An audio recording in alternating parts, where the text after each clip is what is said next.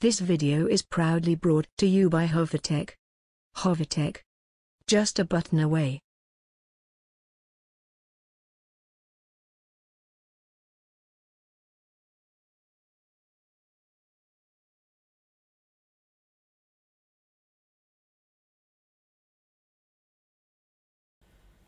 In this video tutorial I'll be explaining how to fix the unknown baseband and null IMEI on your Spreadtrum phone. Now whenever you encounter the unknown baseband, what you basically need to do is to flash the pack file using ResearchDownload tool back to the phone. Now you need to flash the pack file for the exact phone model and nothing else. After you flash back the pack file, you should get your baseband back. Now to locate your baseband, you go to your settings you go to about and this is the baseband highlighted here. So after you flash the pack file you should have your baseband again. It should no longer read unknown. Now after you have your baseband what you might still have is your null IMEI so if you go to your status for example in my case I have my IMEI so here if you if you check your IMEI okay the faster method to check the IMEI is to just dial star hash sorry star hash zero six hash.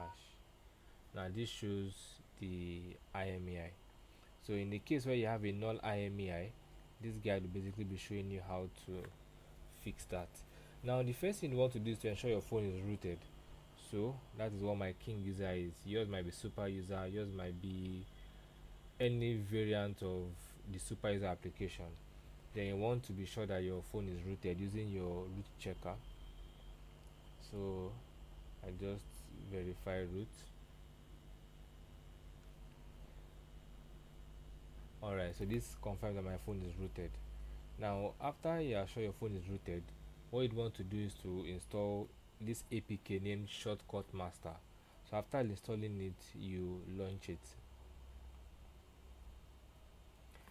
Now at this point you just press the menu button at the top at the top right corner there. Yes then you select secret code explorer.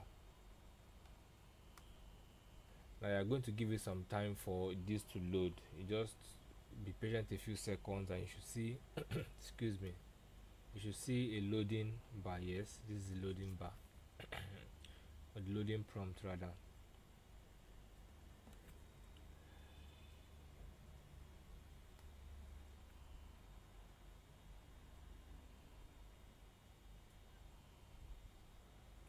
All right. So at this point I should be having a list of applications. Okay I think I interrupted the loading just select all apps and let it reload. Okay. So after the whole loading process I should have a list of applications as you can see in the background. I'll just wait for the loading prompt to finish.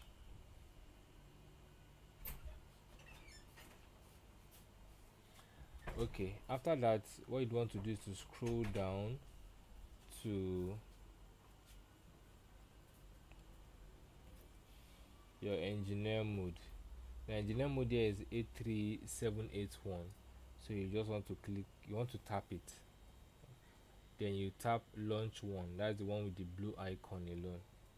Launch one. Now at this point you go to the telephony tab. We're already there. So you simply scroll down to set IMEI then you select set IMEI now at this point what you should have if you have a if you have a null IMEI is just empty an empty space here where my IMEI is written. So what you want to do is to insert the IMEI you wish to change and then you click set IMEI so if for example I want to change IMEI 1 let's say I just change the last digit to 6 just to confirm if this works. So it was initially 7 I've changed the last digit to 6 so I just click set IMEI and then it gives me this prompt to confirm if I want to go ahead with setting IMEI I. Click I select OK. So the phone is going to reboot. And once it boots up again I'm going to go check my IMEI to be sure it was correctly written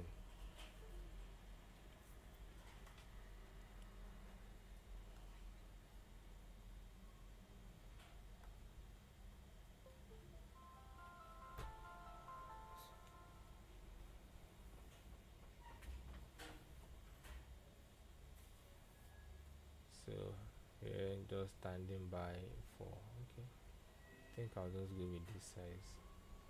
That should be visible enough. So I'm waiting for my phone to boot up again and then I go confirm that my IMEI write was successful.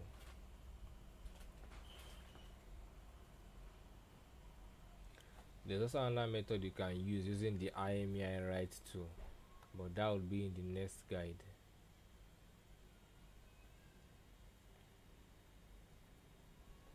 Seems my phone is taking quite some time to boot up. Okay my phone is up. Now the first thing I would want to do is to go check my IMEI to confirm that write was the write was successful